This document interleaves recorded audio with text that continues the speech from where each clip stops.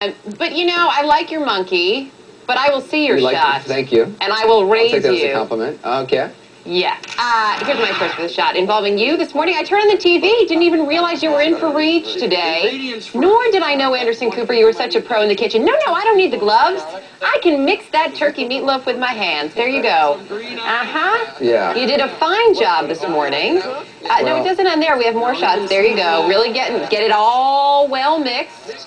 That's the key. It's a key to a good meatloaf, I find, at my house anyway. Yeah. Uh, The meatloaf was delicious from this guy.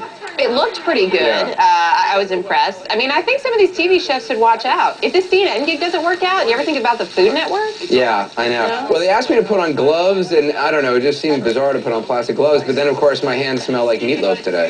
Yeah, and the onion smell really never knows it never goes away, or the garlic. You know what works well for that? Yeah, that- Lemons. that's- Lemons. yeah, I'm not too good in the kitchen, as you can tell. The flip, the flip is good. Yeah. Uh, Yeah, there we go. Seeing it again. Look, not not that many fell out. I think that's better than I would do. the guy was like, "Who are you? Where's Where's Regis? Rage? Regis what? doesn't Where's do this." Rage? All right, I think we've seen enough. More than enough. Painful. Uh, I appreciated them letting me try. If you see some uh, remarkable video or you see some foolish people trying to do a cooking segment, tell us about it. CNN.com slash 360. You can uh, see all the most recent shots there. You can see other segments from the program. You can read the blog. You can get all our recipes.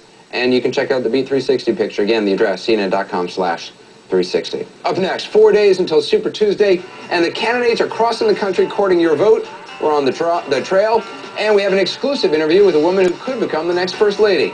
Up close tonight with Michelle Obama when 360 continues. Buckle up.